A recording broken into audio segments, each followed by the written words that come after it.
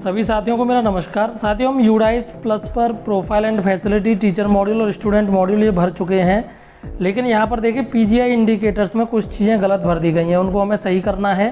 तो यहाँ पर देखिए, आपको सभी डीसीएफ में काम नहीं करना है। कुछ डीसीएफ में ही आपको संशोधन करना है, वो हम वीडियो में देखेंगे। आप चैनल को सब्सक्राइब कर लें, वीडियो को लाइक कर लें और अन्य साथियों को मदद के लिए शेयर करना न भूलें। देखिए यूडाइस प्लस की ऑफिशियल साइट पर आएँगे तो यहाँ पर सभी मॉड्यूल आपको दिख जाएँगे। सबसे पहले हम प्रोफ़ाइल एंड फैसिलिटी मॉड्यूल को देखते हैं। यहाँ पर आप विद्यालय का यूडाइस कोड और पासवर्ड टाइप करेंगे कैप्चा टाइप करेंगे और लॉगिन कर लेंगे। तो यहाँ पर देखिए, आपको प्रोफ़ाइल एंड फैसिलिटी ऑप्शन पर क्लिक करना है। यहाँ पर बहुत सारे DCF आपको दिखेंगे। देखिए data entry is currently active तो ये जो प्रोफ़ाइल एंड फैसिलिटी वाला DCF है, इसको ओपन कर दिया गया है। यहाँ से आप लैंग्वेज चेंज कर सकते हैं। और सबसे पहले हमें D C F one point three nine से वन पॉइंट फाइव वन में जाना है। यहाँ आपको आंगनवाड़ी और बाल वाटिका की सूचना देनी है। अगर आपके विद्यालय में आंगनवाड़ी है और आपने आंगनवाड़ी दिखाना भूल गए हैं तो आप उसको यहाँ से सही कर सकते हैं। यदि आपके विद्यालय में आंगनवाड़ी आप हाँ सेलेक्ट करते हैं तो उसके बाद आपको आंगनवाड़ी का कोड और कितने छात्र छात्राएँ हैं, वो संख्या आपको यहाँ पर देनी है। उसके बाद देखिए आपको क्या बाल वाटिका सह स्थित को लोकेटेड आंगनवाड़ी है तो अगर है तो आप हाँ कर देंगे, नहीं है तो आप नहीं पे क्लिक कर देंगे। क्या कोई स्कूल से बाहर वाले बच्चे आउट ऑफ़ स्कूल बच्चे नामांकित हैं?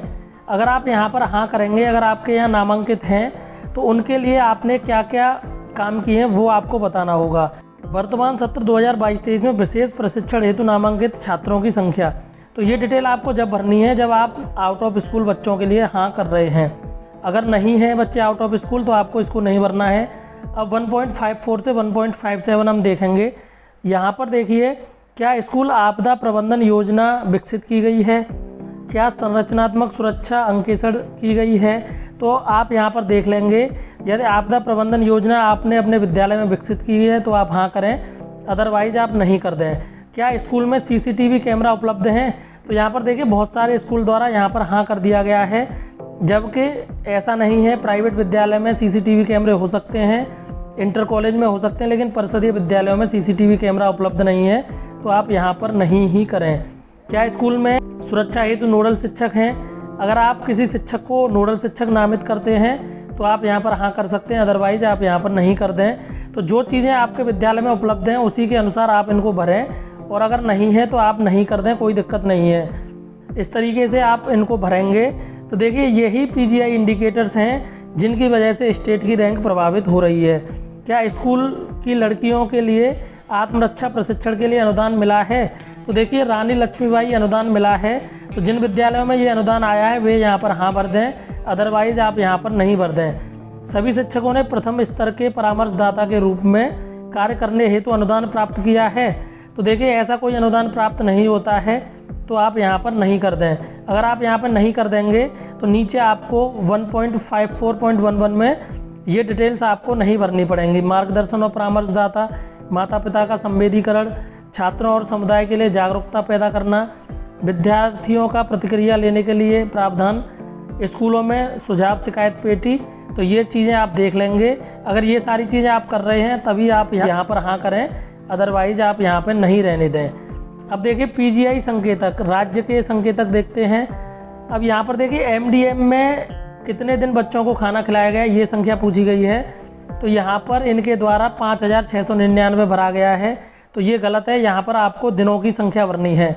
तो सत्र 2022-23 में जितने दिन विद्यालय खुला है, जितने दिन बच्चों को एमडीएम दिया गया, वो संख्या आपको भरनी है। अब देखिए यहाँ यहाँ पर देखिए देखिए सभी शिक्षकों के पास आधार कार्ड हैं और इलेक्ट्रॉनिक आईडी भी उपलब्ध है। तो आपको यहाँ पर शिक्षकों की संख्या भरनी है। अब देखिए यहाँ पर क्या स्कूल में शिक्षकों की उपस्थिति इलेक्ट्रॉनिक रूप से एकत्रित करने की कोई प्रणाली है? तो यहाँ पर देखिए हाँ कर दिया गया है, लेकिन अभी ऐसी कोई व्यवस्था नहीं है तो आप वहाँ पर नहीं कर दें। छात्रों की उपस्थिति के लिए भी कोई व्यवस्था नहीं है और शिक्षकों की उपस्थिति के लिए भी कोई ऐसी व्यवस्था नहीं है। अब यहाँ पर देखिए संयुक्त स्कूल जो कंपोजिट ग्रांट है, उसका डाटा देना है। पुस्तकालय अनुदान, बड़े मरम्मत कार्य हेतु अगर कोई अनुदान प्राप्त हुआ है तो वो देना है। खेल और शारीरिक शिक्षा के लिए अनुदान, मीडिया और सामुदायिक जुटाव हेतु अनुदान। तो देखिए 2022-23 में ये इसके लिए पैसा आया है तो आप यहाँ पर भर दें। देखिए कम्युनिटी मोबिलाइजेशन के लिए जो पैसा आया है, वो इसी मद में आया है। एसएमसी और एसएमडी के लिए अनुदान तो ये आप यहाँ पर सही सही डिटेल भरेंगे। जो आपको प्राप्त हुआ है, वही डिटेल आप भरें। अदरवाइज़ आप ब्लैंक छोड़ दें, उसमें कोई दिक्कत नहीं है। अब देखिए, भौतिक सुविधाएँ, उपकरण कंप्यूटर और डिजिटल पहल। ये मॉड्यूल पे हमको ध्यान देना है। स्कूल भवन की उपस्थिति तो गवर्नमेंट स्कूल है। यहाँ पर स्कूल भवन का प्रकार, ये सारी चीज़ें आपको यहाँ पर देख लेनी है। तो जो चीज़ें आपके विद्यालय में उपलब्ध हैं, आप उसको सही सही भरें। यहाँ पर आपको गलत डाटा देने की कोई ज़रूरत नहीं है। चार दीवारी का प्रकार। अब यहाँ पर देखिए पक्का, अब यहाँ पर आपको इन्फॉर्मेशन सही से देखनी है। यहाँ पर कई सारे ऑप्शन हैं। अब देखिए पक्का पक्का बट ब्रोकन वायर फेंसिंग तो ये सारी चीज़ें आपको देख लेनी है और जो एक्चुअल स्थिति हो, वही ऑप्शन आपको यहाँ पर सेलेक्ट करना है। यहाँ पर गलत इन्फॉर्मेशन आपको नहीं भरनी है। इससे आपके विद्यालय को नुकसान होगा और स्टेट को भी नुकसान होगा। अब देखिए, शौचालयों की सुविधा की जानकारी आपको देख लेनी है। अगर शौचालय है तो आप हाँ करें। सी डब्ल्यू एस एन अनुकूल शौचालय को छोड़कर उपलब्ध शौचालय सीटों की संख्या। लड़के लड़कियों के लिए अलग अलग संख्या देनी है। कितने क्रियाशील हैं, वो संख्या आपको दे रही है। सी डब्ल्यू एस एन अनुकूल शौचालय सीटों की संख्या। ये सारी डिटेल आप अपने विद्यालय के अनुसार देखकर सही सही भर देंगे। यहाँ पर भी आपको जो एक्चुअल स्थिति है, वही डाटा आपको देना है। शौचालय लड़के लड़कियों के लिए कितने हैं, मूत्रालय कितने हैं, ये सारी संख्या आपको यहाँ पर भरनी है। तो यहाँ पर देखिए, आपको सारे डी सी एफ़ पर जाने की ज़रूरत नहीं है। जो डी सी एफ़ इस वीडियो में आपको बताए जा रहे हैं, या बी आर सी द्वारा लिस्ट जारी की गई है वहाँ पर आपको पीजीआई इंडिकेटर दे रखे हैं जिनमें आपने सूचना गलत भरी है।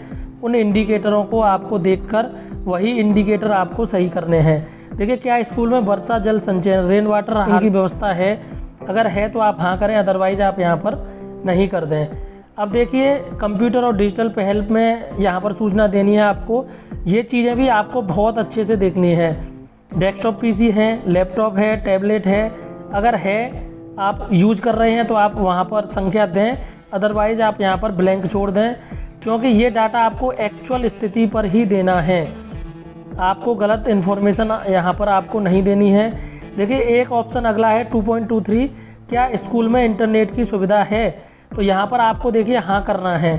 अगर देखिए स्कूल में उपलब्ध इंटरनेट की सुविधा के प्रकार पर आप देखेंगे तो यहाँ पर देखिए ब्रॉडबैंड इंटरनेट नहीं है, लेकिन यहाँ पर मोबाइल फ़ोन इंटरनेट तो सभी लोग मोबाइल में इंटरनेट यूज़ कर रहे हैं तो आपको यहाँ पर हाँ करके ऑप्शन नंबर चार सेलेक्ट कर लेना है। तो ये ऑप्शन आपको ज़रूर देख लेना है। अब देखिए, छात्रों के लिए कंप्यूटर लैब अगर है तो आप हाँ करें, अदरवाइज़ नहीं कर दें। स्कूल में ई सामग्री के लिए आपको यहाँ पर हाँ करना है, क्योंकि हम दीक्षा ऐप के माध्यम से बच्चों को पढ़ा रहे हैं, डिजिटल सामग्री बच्चों के लिए उपलब्ध करवा रहे हैं। सी डब्ल्यू एस एन के लिए सहायक तकनीकी आधारित समाधान है। तो आप इन चीज़ों को देख लें डी टी टी वी चैनलों के साथ ये देख लें तो आपको यहाँ पर सही इन्फॉर्मेशन भरनी है। साथियों, आपको हमारा प्रयास पसंद आया हो तो चैनल को सब्सक्राइब ज़रूर करें, वीडियो को लाइक करें और अन्य साथियों की मदद के लिए से शेयर करना न भूलें। इसके बाद आपको टीचर मॉड्यूल देखना है। टीचर मॉड्यूल में भी आपको सारी चीज़ें देख लेनी है। टीचर मॉड्यूल का वीडियो आपको हमारे चैनल पर मिल जाएगा। लिंक डिस्क्रिप्शन बॉक्स में मिल जाएगा आई बटन में मिल जाएगा। वहाँ से आप इसको देख लेंगे कि टीचर मॉड्यूल में आपको कौन कौन सी चीज़ें किस तरीके से भरनी है। सभी शिक्षकों के आधार वैलिडेट कर लेने हैं। Professional qualification. टीचर मॉड्यूल में जो सबसे ज़्यादा गलत डाटा आया है, वो इस प्रकार का आया है प्रशिक्षण को लेकर। तो सभी शिक्षकों को कोई ना कोई प्रशिक्षण समय समय पर दिया जाता है, चाहे वो ऑनलाइन हो, ऑफलाइन हो। अगर आपका प्रशिक्षण उस लिस्ट में है तो आप वहाँ से सेलेक्ट कर लें और जो प्रशिक्षण आपको मिला है वो उस लिस्ट में नहीं है तो आप वहाँ से अदर सेलेक्ट कर लें। तो ये सारी चीज़ें आपको ज़रूर देख लेनी है। टीचर मॉड्यूल का लिंक आपको डिस्क्रिप्शन बॉक्स में मिल जाएगा, वहाँ से आप